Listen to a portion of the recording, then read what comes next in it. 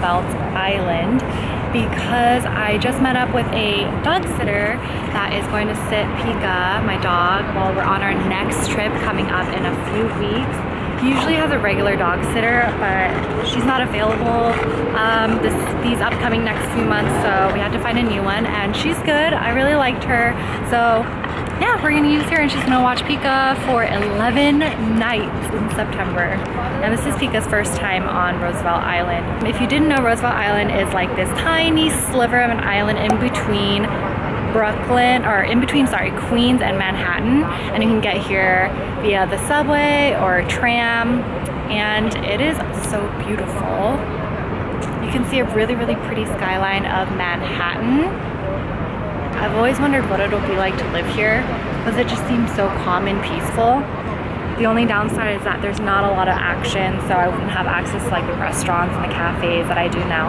But yeah, today's Friday and thankfully I actually have it off, so I have a three day weekend. We're about to call an Uber and head back into the city because Pika is straight up pooped.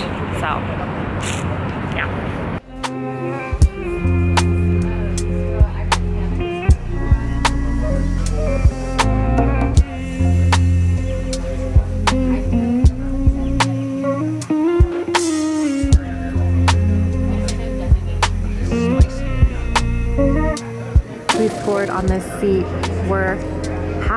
outdoors, half indoors, and we are sitting right on the sidewalk where we can people watch, which is my favorite thing to do in the world. And we're on St. Mark's, which is a really lively street here in the East Village. So there's lots to see and people to spy on.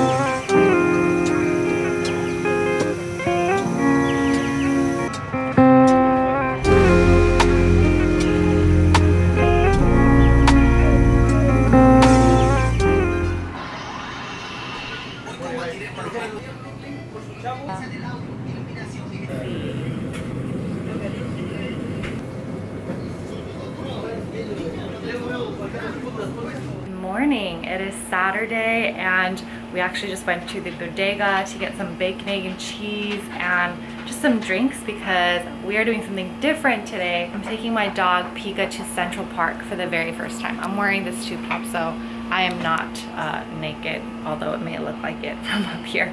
But yeah, we're taking him to Central Park to celebrate his uh, ninth birthday. He turned ninth on August 8th this year.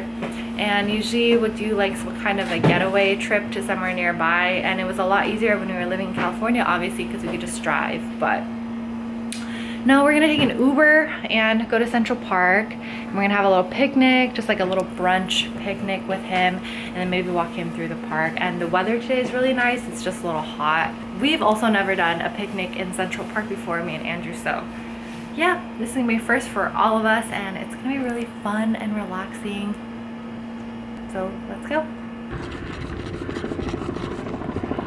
We are all set up now for our picnic. It was kind of a trek to get here because Pika is very anxious on Uber rides, so he just gets very like hyped up and then we had to walk all the way here. So we had to take a lot of breaks, but we are here. There he is. He's alive! Yay! So here's what we brought to our little picnic. We are again in Central Park. We went to, hey, hey! Munchkin, hey. Should we go sit? We got some bacon, egg, and cheese, like I said. And I got some orange juice and coffee and we're gonna enjoy that here now. Some picnic essentials too are water. Got this big one for me and Pika. And little mini fan for the summer. This is also for Pika mainly. And me. And then I also brought some fruit. So I cut up some Korean melon and some dragon fruit. So we're gonna enjoy this now while we look out at the view. Let me show the view real quick and what it looks like. So we are actually overlooking Sheep Meadows. Sheep Meadows is this really popular picnic area here in Central Park, um, but dogs are not allowed there. So we are sitting kind of like outside of it and it's such a pretty view. Yeah. And J-Lo used to own a penthouse in this building, by the way, with A-Rod back in those days. You know how the girl moves on quick. Also, I got this picnic like beach bag from Oaxaca and it's super cute. I love the colors. Dissidents, all who's left around you can't be the chief without a VP. Resonance super relaxing so far. We finished our breakfast. I'm really full, but I am about to dive into this banana cream pie that I got from this bakery near us. It, oh, good gosh. It's so pretty and delicious, and I've had it before. This French bakery, or French, French dessert shop nearby, pastry shop. And it's a banana cream pie. Look at it. It's super flaky on the outside and it's so creamy on the inside. So anyways, we are just relaxing and Pika's a lot more cooled down now and it's been lovely.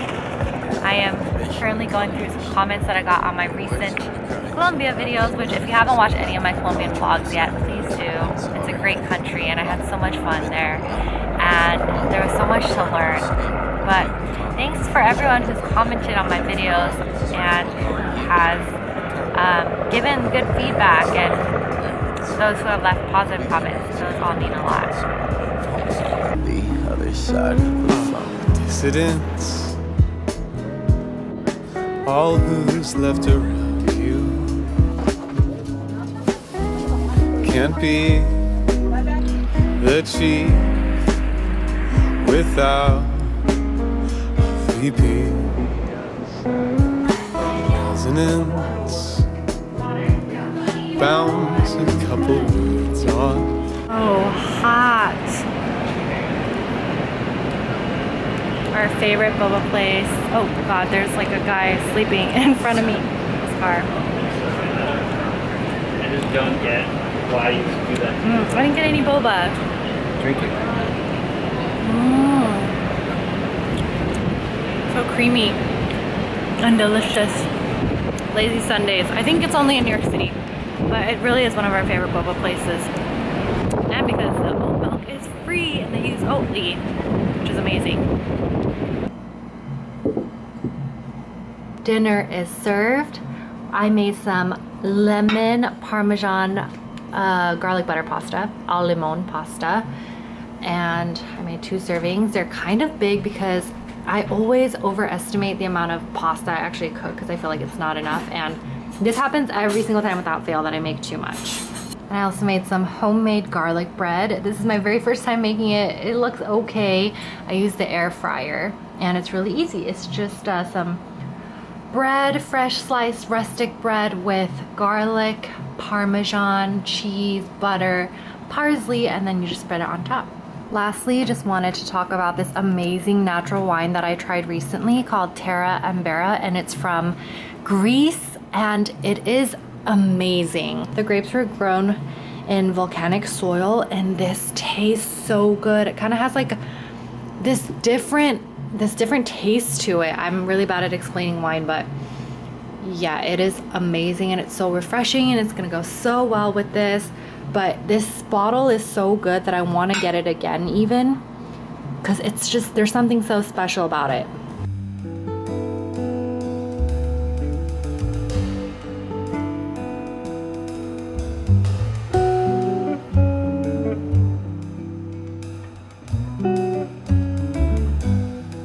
We are winding down now on this lovely Saturday night on the couch and we're gonna spend some family time. Um, and me and Andrew recently started a new K-drama called Extraordinary Attorney Woo and it's been really popular so I think a lot of people have watched it. It's so good so far. We're on episode five? If you like law or if you're wanting to become a lawyer or you know what? No. This is for everybody. It doesn't even matter. It's just it's just a really really good feel good series and you learn so much and there's so many like touching moments. Anyways, I'm going to finish up my wine and I'm having a little dessert. Some dark chocolate uh, pretzels. I got this from Target a long time ago and oh my god, actually it's not even open. Wow, okay, it's not even open. I thought this was open. I think I got this as a plain snack for Colombia and I just never opened it. Pika is very, very tired. We had a really long day. And yeah, that's it. We're going to enjoy episode five of Extraordinary Attorney Woo. Good night.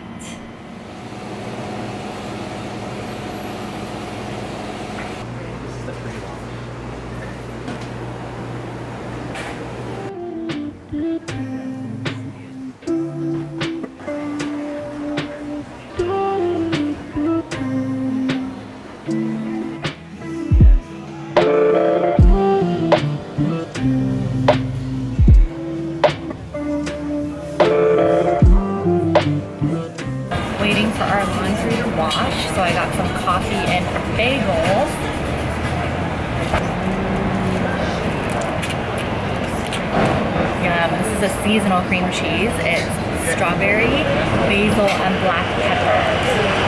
On a plain bagel. Yeah.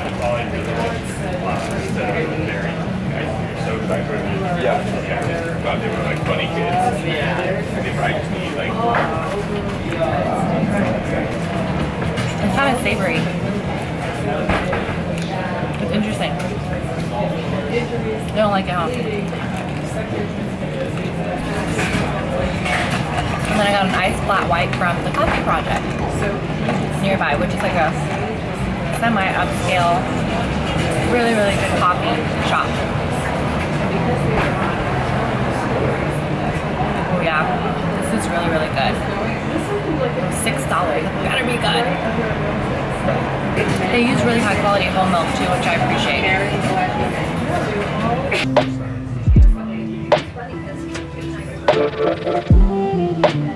We're going out now for a late lunch. We're actually gonna go all the way to Flushing because our favorite hot pot place is there. It's called Haidilao. It's a really famous hot pot chain and it's really, really good value. It's like a little bit pricey, but they have unlimited appetizers and desserts. So we're gonna head all the way over to Flushing and I'm gonna be wearing my bag that I kind of just have never worn after I got it, but it's from Oaxaca and it's this really cute woven bag in this really beautiful color.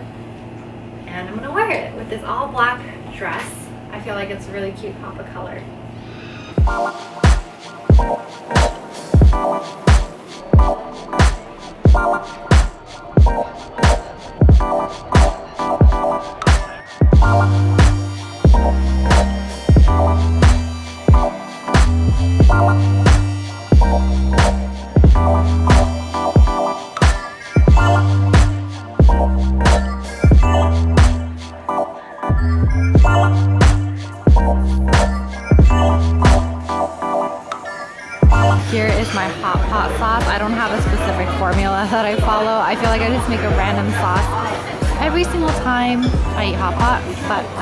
Shit ton of cilantro and green onion. Let's taste it to see if it's edible. Ooh. A success this time.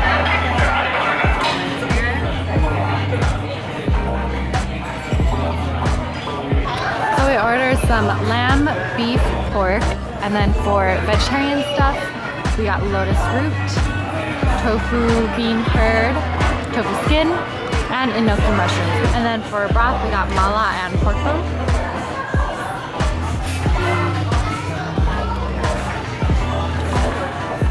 So a lot of lotus fruit.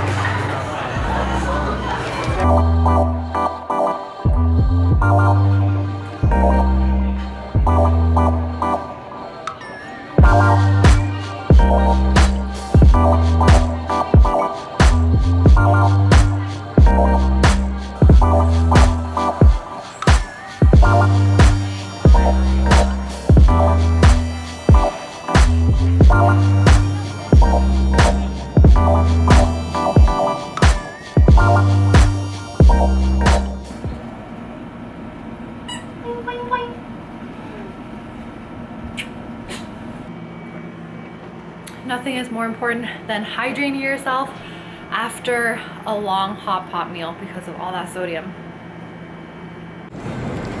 Taking the little booger on a walk. Oh, he has been stubborn. Extremely, extremely stubborn. Come on.